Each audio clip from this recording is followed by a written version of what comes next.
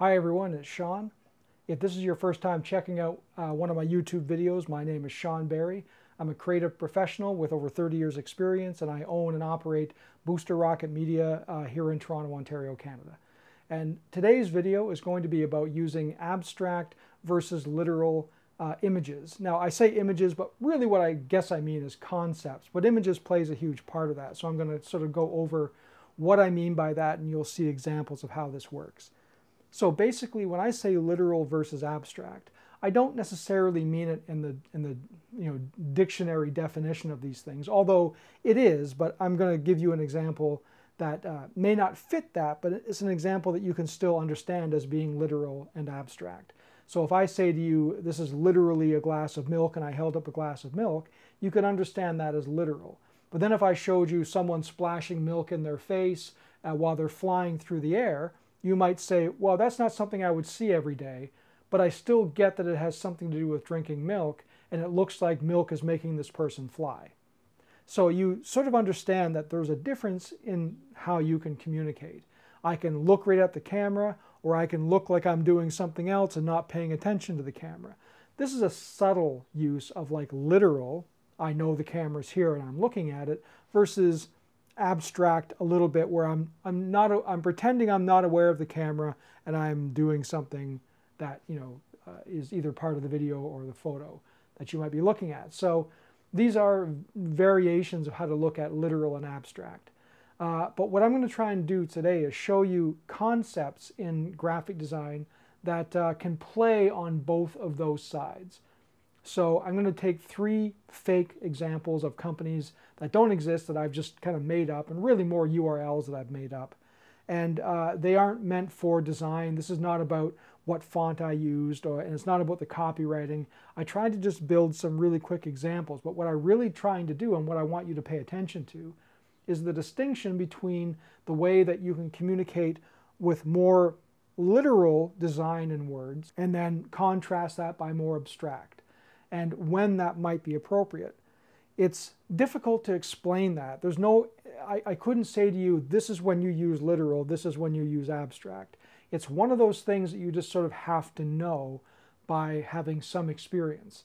And that experience uh, comes over time, so don't get impatient. But the idea is that if you're given a creative brief, uh, that's not the only factor in whether or not you might do something literal or more abstract. It has to do with the brand that you're working on, the kind of work that you do, what your client is looking for, what the brand typically does with the brand voice, as we call it. So, uh, for example, if you have a client that literally is an engineering client that sells a literal product and they never talk about it in any kind of inspirational way, only its technical features, then maybe going abstract isn't the way to go. And if you have another company that talks about wellness and your client wants to only communicate you know, uh, mental health and good vibrations for the world, that's not necessarily literal. And so by that kind of loose definition of these two things, I'm going to show you uh, ideas that you can take one single client or one single, I guess we'll call it creative intention. Uh, I want to sell clothes or I want to sell a sports product. And I'm going to show you a literal way to talk about it and then a more abstract way to talk about it. And hopefully by showing you these examples that I've just roughly made up, none of which exists in real life, and these are Shutterstock photos, uh, randomly chosen, then you can kind of see what I mean by the two kinds of things and possibly see examples of when you might want to use it. Now, I can't totally give you everything you need to know about when to be abstract, when to be literal, conceptual, inspirational. But these examples should at least get your mind kind of going in these two directions, I hope. So let's take a look at what I've done. I'll walk you through it and see if it makes sense. So here at the desktop, I've got just a simple Photoshop file with some layers that I'll reveal as I go. This is obviously uh, mocked up to look like an Instagram story ad, and uh, I just decided to use that format since it's something that we all kind of interact with every day. So I'll show you these examples, but the first thing I'll do is pop over to my web browser. And I just have uh, Shutterstock open here. Uh, no, for no particular reason, I downloaded my images from Shutterstock for this tutorial, but uh, you know, this is just the home page of Shutterstock, as you can see. now what I'm going to do is I'm going to uh, look for uh, business woman, uh, business woman, and uh, just hit OK.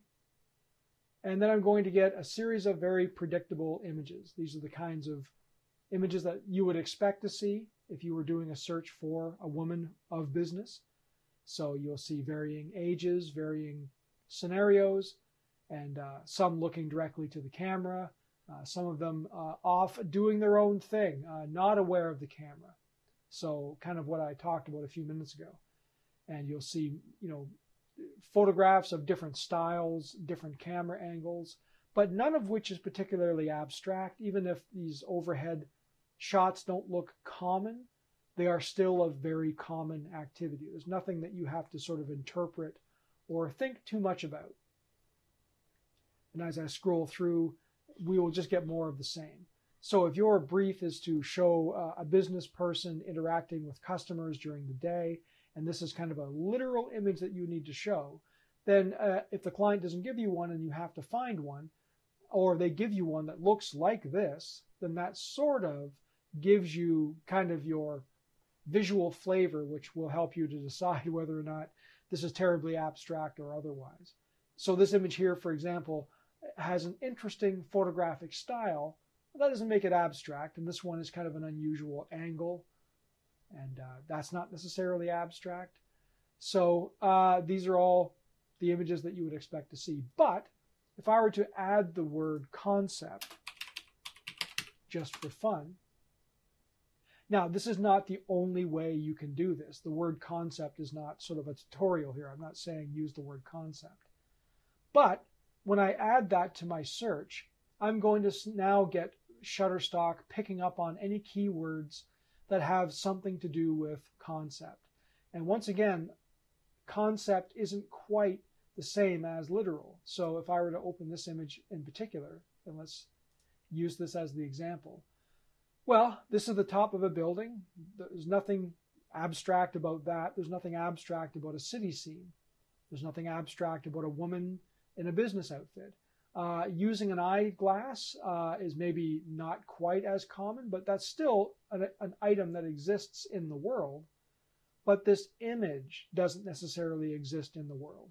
There's no one who goes to work on a Tuesday and at 3:13 p.m they find themselves in this situation, right? That's sort of what the abstraction kind of is. Now, this isn't terribly abstract, but it is kind of what she looking at. Well, it's not. She's not literally looking for the bus. She is, in an abstract way, looking into the future or looking into the horizon, looking at problems coming, looking at solutions coming, all these various things that you can use your imagination to come up with. And likewise, this is a very uh, literal photo, and yet it's abstract, possibly in the way that this photo is very deliberately shot so that the corner of this balcony is right in the middle, pointing to the future, pointing to the horizon. She is now in this position, looking out among the buildings, possibly contemplating you know, uh, what is possible from this scenario. Uh, so that's not really abstract, but it's borderline as it invokes you to think about something that's not a literal business meeting or scenario. Now the illustrations here, of course, go further than that, but I'm gonna I'm not gonna really talk about illustrations because that's too easy to make a distinction. I'd rather stay with the photos and really draw the line there and figure them out. So uh, likewise, if I click on this image, okay, so she's she's standing there looking off into the distance, but uh, suddenly her shadow becomes a superhero. So uh, what does that mean, right? It's an abstraction of an idea. It's a it's a simple photo that I can recognize what's happening, but it implies something I should think about. And so as I look through these images, uh, you know, I begin to see all these possibilities. So you can sort of see what I mean by abstract versus literal. And again, I cannot cover this subject uh, successfully in all of its sort of nuances, but this is a starting point, a way to think. You can see the differences in how these images might appear. So let's pop back to Photoshop. And now let's talk about this in examples. So I'll show you some things that I've mocked up that I think help communicate this a little bit. So we'll begin with an education example. So let's assume that this is a university of some sort. And uh, again, this URL doesn't exist. Uh, this client doesn't exist, but you'll get the idea. So I have this student who looks like any student you might see at any university. He's young, he's well dressed, he has all of his uh, studious materials with him, and he's on the go. But he's aware of the camera, he's looking at us, he's endorsing this message by his presence. And we can see this background, which uh, looks like a campus. So we kind of understand what this image means. It is very literal. So let's say that uh, our ad campaign for this studyyourway.com, which is again made up, flexible programs, financial aid, online or on campus. So this ad would appear to be really focusing on a couple of things that you could study, we assume, however you want, and that's what flexible programs mean. Financial aid, oh, I guess if I need a loan, they will help me get one or something of the, the sort. Online or on campus. So that would mean that they must have online courses and that they have obviously on campus courses. So these are all pretty literal, as is he pretty literal. Now let's take this same URL, study your way, and let's assume the objective is the same. I want to get students to sign up to my programs, and I want them to know that this is the right institution for them to do that. Now, an abstract way to do that might be to show this image. So we see uh, off in the skyline the word goals. And we see a skyline, and then there's this obviously a wall, stack of books, and uh, this woman standing on top of the stack of books. Now, whether they are giant books or a tiny woman, let's not worry about that at the moment. Let's just think about what's happening. So, goals off on the horizon. She's looking in that direction. So you get the idea. She's looking out to see what her opportunities are to meet her goals. Study business management and achieve all your goals. StudyYourWay.com. So uh, once again, this is not real copy. I'm not really trying to get too deep here, but you sort of understand the idea that this image requires me to think. Clearly, this wall used to block her way. She has, through education, stacked up these books of knowledge that she is now standing on top of to look out over the sea of possibilities and to imagine her goals. So that is a very different way of saying it than this, right? This is kind of benefits focused. And hey, here's a student that you can identify with. Somebody your age, he's he's handsome and looks like he's well socialized. And so, hey, that's me. I want to be like that. Uh, I understand this. Here, you might say, you know what? I have big goals, big ambitions. Uh, I, I don't care too much about partying and the college experience, but I really want to get out there and start earning six figures. So this might appeal more to someone of that type and someone whose ideas are that way. But you can see inspirational, informative. These are two different ways to say kind of the same thing, but it does it in exactly the opposite way. But it does it in two very distinctly different ways. So that's a, uh, that's one example of what I'll call literal and abstract. Now let's look at the next example, which is a uh, I'll call it a fashion brand. Uh, again, this is made up. LookGoodEveryday.com. Meet, greet, repeat. Wardrobe for every mood, occasion, or get together. So we show this uh, same guy repeated in these photos over and over again. Uh, this is just a cool image I found on Shutterstock, so let's assume that this was the idea that we had. So we can see that this guy has some variation of an outfit uh, that's all kind of, you know, ranging between casual and business. And so uh, meet, greet, repeat. Okay, so every meeting that he has, any friends that he goes out with, any occasions or get togethers he finds himself in, uh, he has all these wardrobe options because we understand that lookgoodeveryday.com has given him these options. And so he has made his purchases and this is how we represent it. So it's very literal. Now, a person standing in a white void isn't literal, but he's looking at the camera. He is being fashionable and saying, hey, look at me and also look at these outfits. I like them. I hope you agree. And he is engaging with you, the viewer, in this way. I'll call this the literal idea. Now let's look at another way that we can play this same thing out.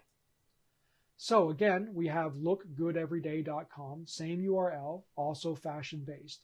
But let's look at some of the nuances here. So we have this uh, collage of squares. I didn't do all this Photoshop work, by the way. This this was an image set, a collage uh, on Shutterstock, so I just used them as is, but I added the words.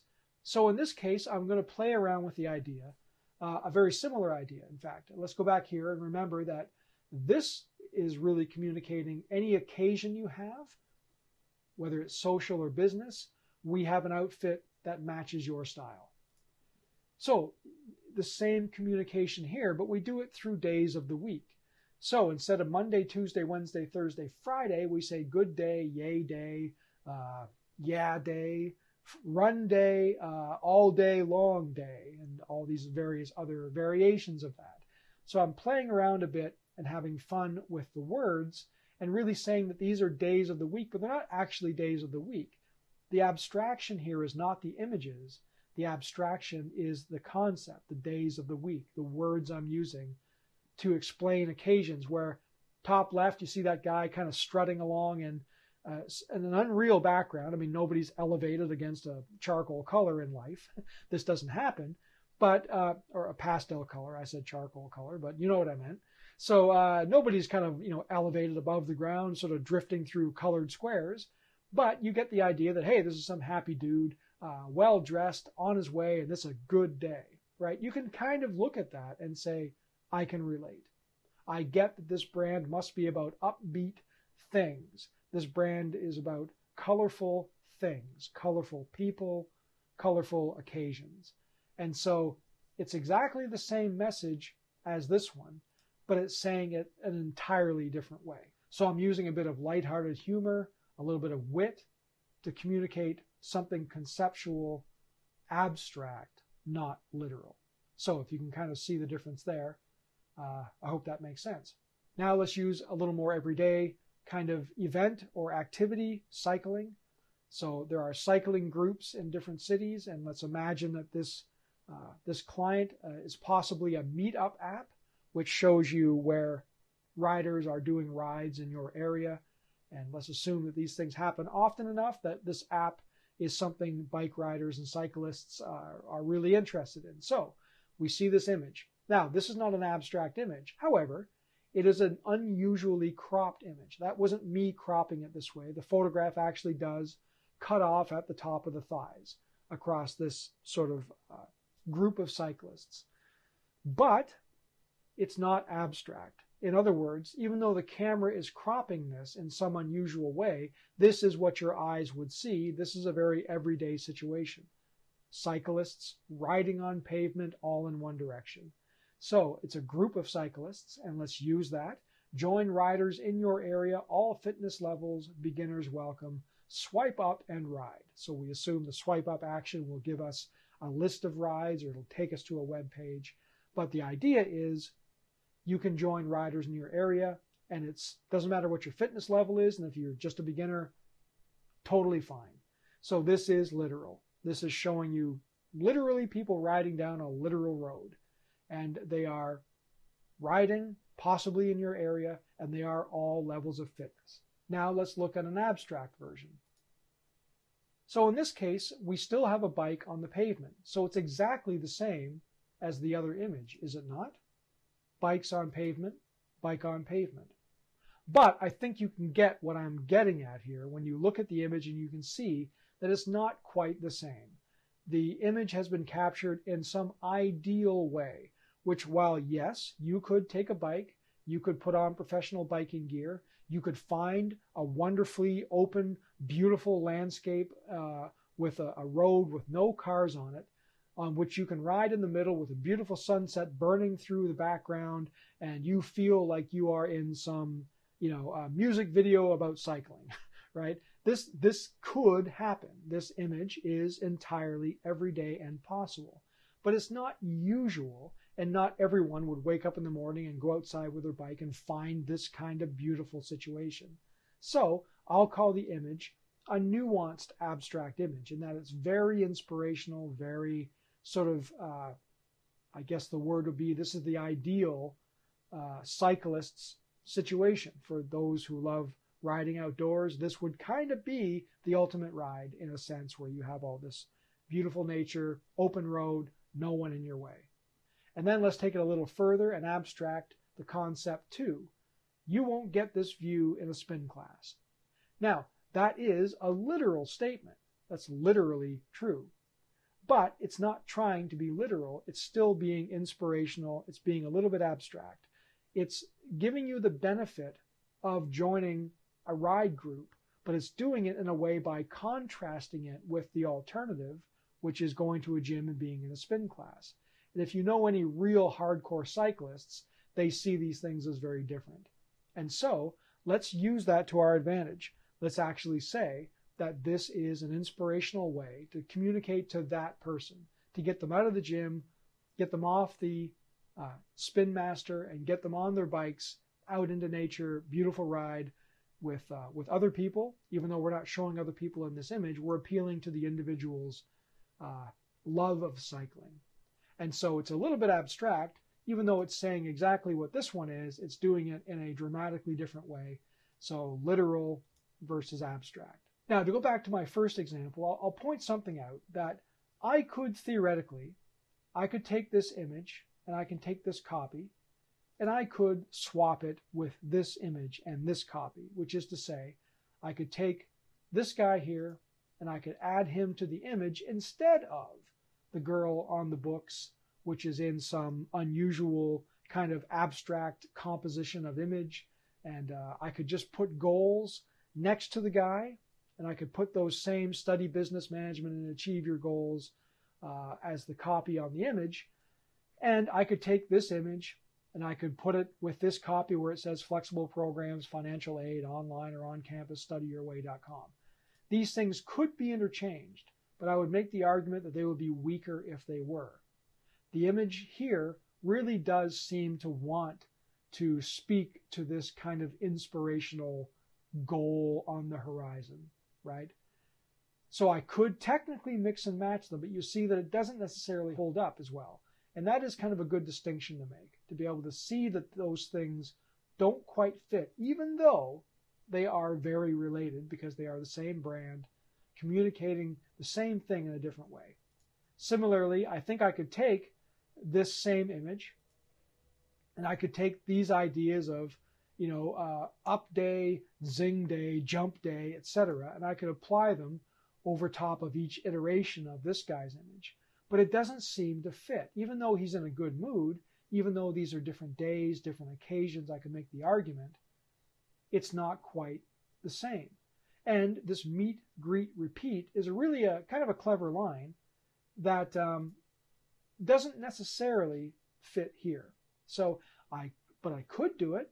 It would still work. You wouldn't necessarily be confused, but the idea wouldn't be as strong.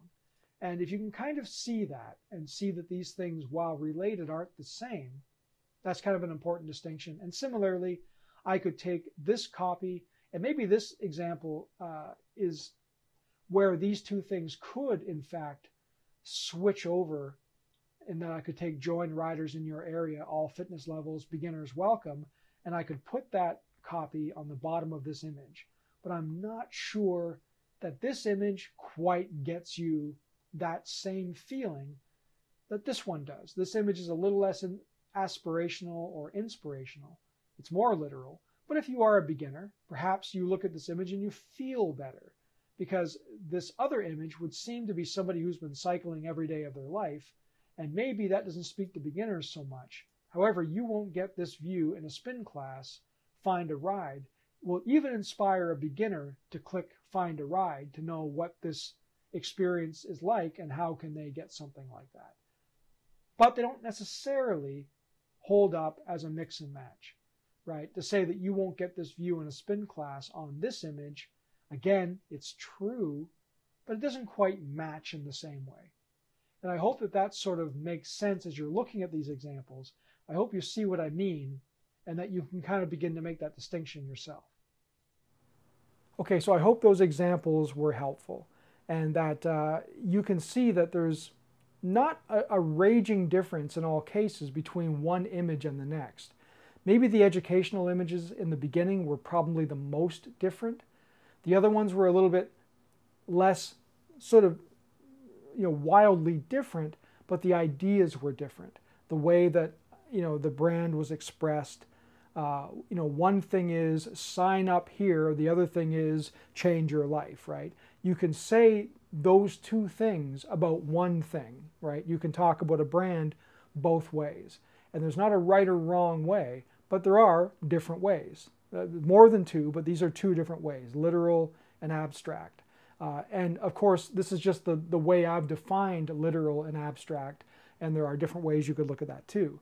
But the point of all of this, and hopefully what you're, you're going to take away, is the idea that you have an option and you have to pay attention to what your brand uh, is trying to do, what your customer wants you to do, what the brief is asking you to do, and what your design capabilities are, and how much you can think in these two different ways. But being aware of it is step one. So if you can kind of get this into your toolbox as something that you can try, and uh, usually a, a good uh, a good way to implement this is to take one client, one brief, and give them three design options: one literal, one abstract, and one something else, or two literal, one abstract. You get the idea. You can actually show them something that they wouldn't normally do, or you can try to design something that's a little bit off the normal strategy as long as it's not off the brand. And you can experiment a little bit. And that's sort of how you learn. And that's how these things kind of evolve. So I hope this uh, video was useful. I have my whiteboard over here with topics that I'm going to cover some more uh, advanced uh, tutorials like this. I call this advanced because not that what I did was complicated, but the idea is maybe a little more advanced than just typography and how Photoshop works. These are slightly deeper ideas. So I think it is indeed an advanced tutorial because it requires an advanced way of thinking. But the point is that I'll, I'll have many more videos that are the full tutorials. I'll have design 101 and uh, I also have some vlogs that I'm working on. And uh, I am going to work on a premium course as well, and I'll talk more about that uh, in the near future. So anyway, hopefully this was useful for you. And uh, let me know in the comments below if there's something specific you want me to talk about. Something a little bit different than this, but maybe related to it. It's possible that another video would be, you know, the idea, or I might just respond to your comments. So anyway, uh, hopefully this was helpful for you, and I'll catch you in the next video, and thanks for watching.